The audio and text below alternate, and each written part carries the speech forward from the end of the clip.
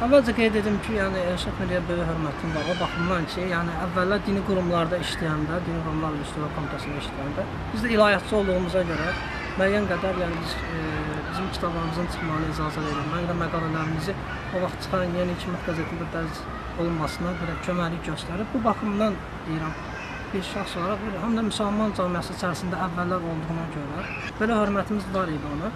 Lakin sonra bu e, e, yəni Elşad Miri belə deyək də qardaşımız, vətəndaşımız, dostumuz. Sonra yəni tamam başqa bir cərəyana qoşulmağa başladı. Artıq yəni əvvəl o qəbul etdiyi İslamın prinsiplərini inkar etməyə başladı. Yəni, məsələn, hədisləri, qəbr əzabını, ə, Quranda olan, hədislərdə olan bəzi o müsəlmanların inandığı inanc sisteminə tərs fikirlər söyləməyə başladı. Və müsəlmanlar artıq yəni onu bəyənmədi. Amma düzdür, yəni bu insan savadlı insandır, gözəl danışıq tərzi var və s. Lakin ə, deməli onun fikirləri müsəlman cəmiyyətində qəbul olunmur.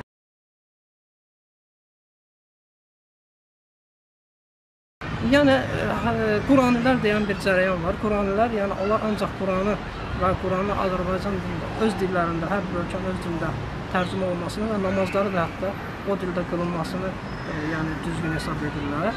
Və o şəriətdən əsas ehkamları, vacib ibadət formalarının bəzi ə, hissələrini onlar inkar edirlər. Ə, yəni bir çox həddən artıq çox mövzular var da İslam dinində və bunların çoxunu inkar edirlər. Yəni sanki bu ateizmin bir hissəsidir. Sadəcə olaraq belə deyək, yalnız Qurana əsas götürürlər.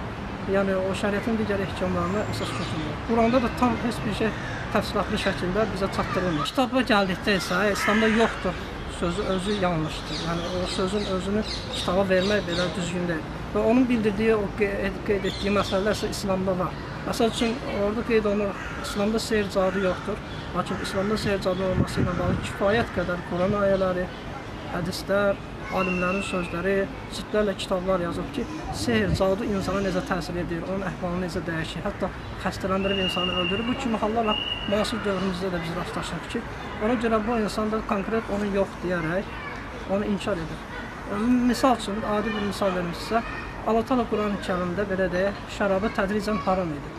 O demək deyil ki, yəni o yoxdur İslamda. Var. Necə deyim, yəni şərab içmək e, seyrlə məşğul olmaq bu gün müsəlmanların bir çoxu şərab içirlər, seyr cadı ilə məşğul olurlar. Şərab İslamda Allah var. Allah Taala bunu qadağan edib. La- Lakin bu İslamda var. Necə var? Yəni müsəlmanlar bunu edirlər, bu əməlləri edirlər. O baxımdan var deyirəm. Və misal üçün e, bəzən bir çox məsələlərdə hansılar ki, indi o bənd və indi o kitab məndə yoxdur, yoxsa orada sıralayıb deyərdim.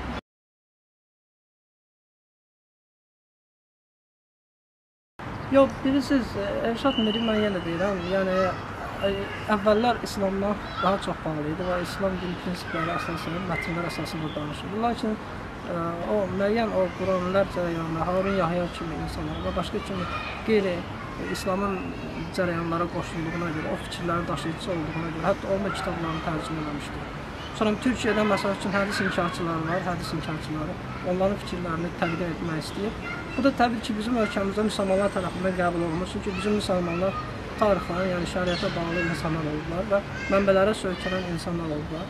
Bunu da yəni həyatlarını müasir dövrə uyğun davam elətdirir. Bu gün də müsəlmanlar belədir. Ona görə də onun bəzi fikirləri yəni ə, qəbul olunmur cəmiyyət tərəfindən. Ancaq İslama uyğun danışdığı bütün fikirləri bütün müsəlmanlar tərəfindən qəbul olunur.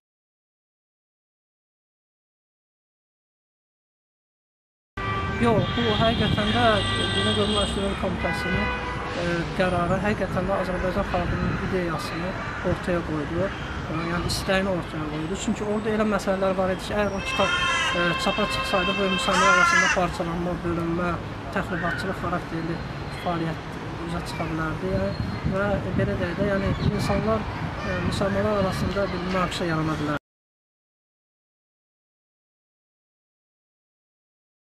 Yox, mən onu düşünmürəm çaxnaşma salmaq istəyir. Yəni Ayşat Millinin məqsədi fikri budur ki, insanlar dini doğru düzgün şəkildə mənimsəsinlər. Lakin buna e, İslamda olan o əsas prinsipləri yox deməklə, yəni insanları belə deyək, dindən soyutmaq hər hansı bir e, öz düşündüyü fikrə təlqin etmək o doğru məsələ deyil.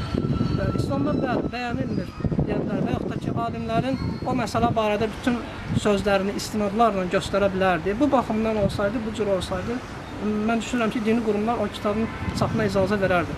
Lakin o konkret, yəni yoxdur deyərək, İslamda olan əsas vacib məsələ yoxdur deyərək istəyir ki, yəni bunlar yavaş yəni tədricən də, yəni insanları dindən uzaqlaşdırmaq üçün tədricən o üsuldan istifadə olunur ki, bu da doğru deyil. Yox, hüquqi cəhətdən də olsa, dini cəhətdən də olsa, ümumiyyətlə İslamda da var o prinsip ki, əgər müsəlmanlar arasına ə, təfriqə salan bir ə, ideya, bir fikir irəli sürülürsə, o tamamilə qəbul olunmur. Hətta buna görə insana cinayət işlə düşə bilər ki, yəni sən ə, belə deyək, müsəlmanlar arasında bir təfriqəyə səbəb olacaq bir addım atmaq istəyirsən və müsəlmanları bölürsən, yəni ə, belə deyək də müsəlmanların inanclarına təsir edirsən. Çünki bəzi inanclar müsəlmanlarda, İslamın bizim cəmiyyətdə də, yəni insanlar İslamı çox ə, İslamın o prinsiplərini çox sevirlər, mənimsəyirlər. Yəni onlara çox bağlıdırlar. Və bu cür fikirlər onlarda aqressiya yaradır və bu bizim insanlar üçün yəni xaosa səbəb ola biləcək bir addım olduğuna görə dövlət qurumunda bunu tamamilə qadağa qoydu və bu ə, tamamilə yəni doğru bir ə, qərar idi, belə düşünürəm. Məsələn, bəlkə də fərqli adı olsaydı, ə, sonra bütün o alimlərin o mövzular barədə fikirləri orada işıqlandırılsaydı, heç bu qadağan da olmazdı və kitab da rahat çapa gedərdi.